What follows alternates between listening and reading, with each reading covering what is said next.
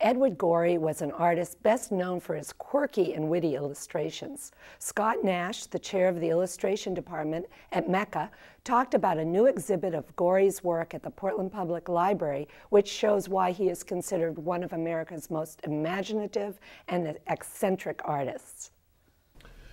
Scott, most people are familiar with uh, Edward Gorey through the Addams Family and perhaps the opening for Masterpiece Mystery. Yeah. But he has a lot more in his work than uh, than that. Uh, talk about him and his career a little bit. Yeah, he does have a reputation for being rather macabre and actually is associated with, with horror to some degree, largely because of uh, his sets for Dracula, the uh, book that he did that was particularly popular called The Gashlycrumb Tinies, where horrible things happen to little kids.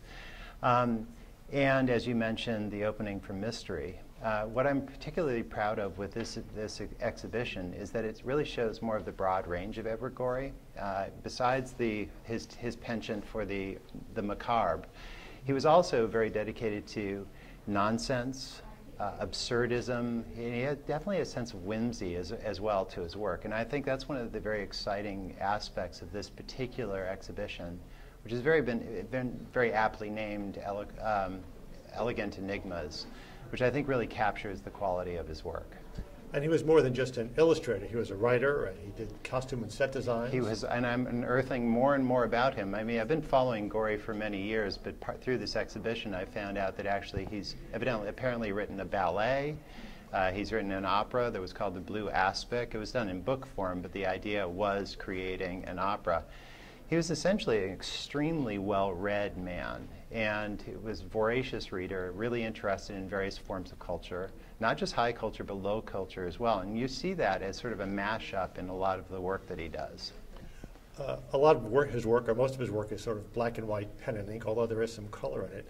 Uh, did he ever do watercolors of the French countryside, or did he always work in pen and ink, black and white? As far as I, uh, he really worked mostly from his head. He didn't really work from uh, photo reference, except for he made some references to uh, liking, believe it or not, the sports pages of the Boston Globe as reference. And I'm, I do not know whether he's having fun with us when he says that, but, he, but mostly I think most of his work came from his head.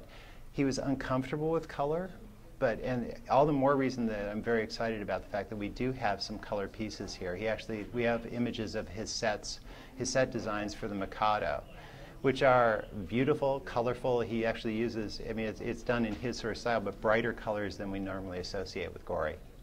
You have a, about 180 works here in yes. this exhibit, which is quite extensive. Uh, was it difficult to pick only those 180?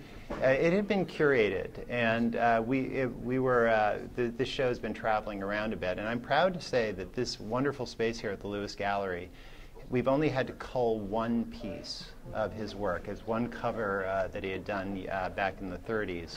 Uh, that we pulled actually, I'm sorry, it was the 60s, but we actually pulled one, one cover from, from the exhibition. Otherwise, it's all here. Many people think that he actually lived in the last century, meaning the 19th century, but he was really a 20th century man.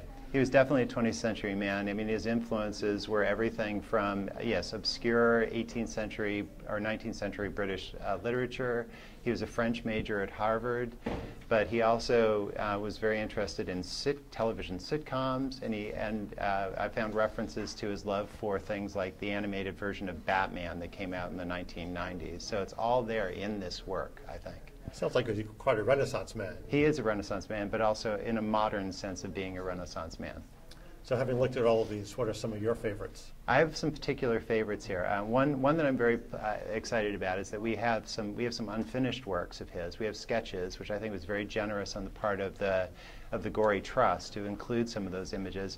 We also have an unfinished piece, uh, which is uh, an image from the Blue Aspic, which is fascinating to me from a technical perspective to see how he actually sketched out the drawings. Um, there's also a piece in here that I was not particularly familiar with called Creativity, which I'm going to be mulling over for quite some time. It depicts elephants in different forms and media, um, everything from smoke to brick, um, and it's just captioned creativity, and I really am looking to find out more about that as well. There's a lot of creativity, a lot of interesting way of looking at the world, I yeah. think, in his work.